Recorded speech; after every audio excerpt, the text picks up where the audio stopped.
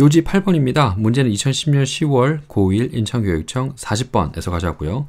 먼저 몇 개 단어를 좀 보고 예, 독해를 하도록 하죠. 첫 번째 나오는 단어는 obesity인데요. 비만이에요.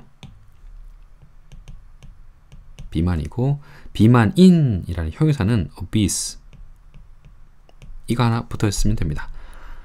그 다음에 나오는 표현은 overlooking인데 간과하다라는 얘기고요.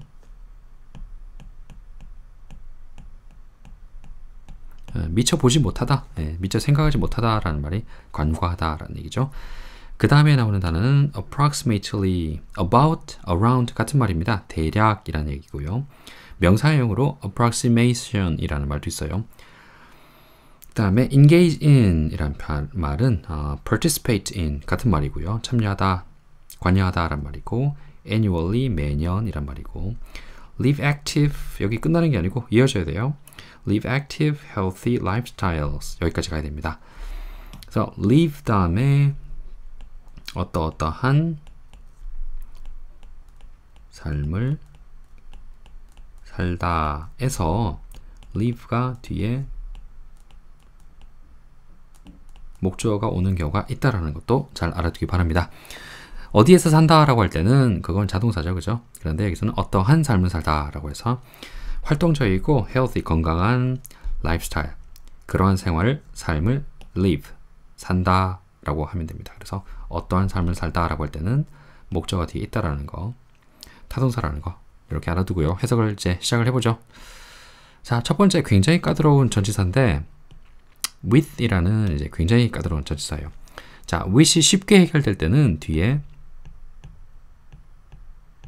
사람이거나 또는 간단하게 물건이 오는 경우는 간, 굉장히 간단하게 해결이 되죠. 사람이었으면 누구와 함께 또는 함께 있는이 될 거고요. 물건이 있으면 그것이 있는이 됩니다. 예. 예를 들어서 뭐 큰 로고가 있는 로고가 찍혀 있는 모자 이런 말도 될 거고요. 큰 단추가 있는 버튼 있는 지퍼가 있는 뭐 셔츠, 바지 이런 말도 with 쓸 수 있다는 거죠. 그 다음에 그런 물건들을 사용하는 사용해서 요 정도는 아주 쉽게 해결되는 경우가 되고요. 좀 어려운 경우가 있는데 with이 by와 비슷하게 어떻게 라는 설명을 해줄 때 with를 쓸 수가 있고요. 예를 들어서 뭐 with your hands in the air 그러면 너의 손들을 공중에 들고 어떻게 걸어 나와 그러면 with your hands in the air 그러면 오 도둑 같은 거 이제 미국 영화 보면 종종 이런 거 나오죠 그죠? 예, 뭐 은행을 털었어 강도들이 총을 들고 있어 그러면 경찰이 불러요. Come on with your hands in the air 그러면 뭐야 손 공중에 들고 나와 이렇게 됐죠. 어떻게 들고 어떻게 나와 손을 어떻게 하고 나와 이렇게 되겠죠. 이렇게 있고요. 또 때문에라는 뜻도 있습니다. 네, 때문에라는 말도 있고. 여기서는 어떻게 쓰였냐면 wish이 어떠한 사실이나 상황을 설명할 때도 with이란 말을 씁니다. 그럼 여기는 어떻게 되냐면 with the rise in childhood obesity, obesity라는 비만이죠. 그러면 소아 아이들 비만이니까 소아 비만 우리말로는 소아 비만이라는 말 쓰고요. In the United States 미국에서 소아 비만의 증가가 될 겁니다. 근데 with이 왜 들어왔을까? 증가한다는 점에서 이런 팩트라겠죠. 사실을 그대로 말을 해주는 겁니다. 아니면 그런 상황이라는 거죠. 예. 미국에서 소아 비만이 증가하는 상황에서 어떠다다라는 말이고요. 여기 4번을 미리 보고 할게요. 똑같은 표현이 위치 한 번 더 나왔어요. 네.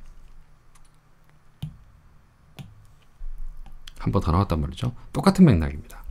Nearly 30 million children playing team sports. 여기까지만 가볼게요. 뒤는 똑같은 표현이니까.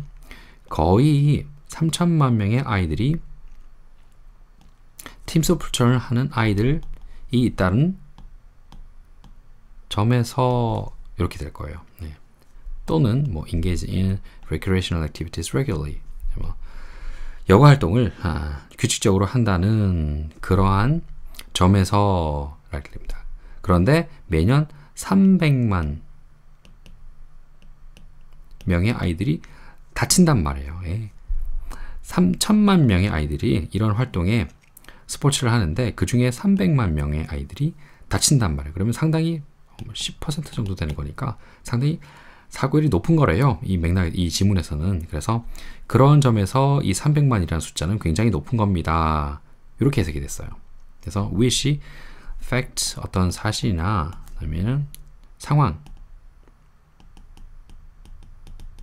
어떤 상황을 표현할 때도 with이라는 말을 쓴다라는 거, 뭐뭐라는 상황에서 뭐뭐라는 점에서라고 해석이 된다는 거 잘 알아두고요. 두 번째 문장은 요건데요. as young as three 나왔는데 children as young as three 여기 3는 뭐 3명이 아니라 3살이라는 얘기예요. 3세. 근데 3세만큼 어린 아이들 이렇게 되는데 우리말로 그대로 해석하면 그렇게 되는데 그냥 3세의 아이들이라는 말이겠죠. 네. 3세의 아이들은 3살짜리 아이들은 participate 네. 참가한다 이렇게 됩니다. 아이들이 나이가 3살만 되면 참가한다 그런 맥락으로 쓰였다는 거죠. 그 다음에 wide variety 그러면 wide는 넓은이 아니고 폭넓은 얘기겠죠. 네. 폭넓은 종류의 physical activities 육체적인 활동에 참여를 합니다. 이렇게 될 거고요. 세 번째로 보면 approximately 라는 얘기는 about, around 같은 얘기입니다. 대략 300만 명의 아이들이 어떤 아이들이냐면 aged 14 and under 14세와 이하겠죠. 그러면 우리말로는 14세 이하의 아이들이 14세 이하의 300만 명의 대략 300만 명의 아이들이 are hurt 다칩니다. every year 매년 뭐 하면서라 했죠? and play 다음에 다음에 아니 t가 아니고 붙었다는 얘기예요. play 다음에 ing가 두 개 붙어 있어서 여기를 어떻게 쓰나요? 뭐뭐 하면서 이런 말을 쓰였죠. 네. 자, 동사 뒤에 ing가 붙었을 때 세 번째 네, 부사로 쓸 때 어떻게 되죠? 시간 표현이면 할 때 하면서 한 후에 시간 표현이 아니면 하면에서 그래서 그럼에도 불구하고 할 때 하면서 하면서 이걸로 해석하면 좋겠죠. 아니면 participating 참여하면서 스포츠를 하거나 참여하면서 그랬습니다. recreational activities 야구 활동 이렇게 되겠죠. 음. 오락 활동, 오락 활동에 참여하거나 또는 스포츠를 하면서 매년 다칩니다. 이렇게 됐습니다. 자, 여기까지 해서 8번을 마치도록 할게요.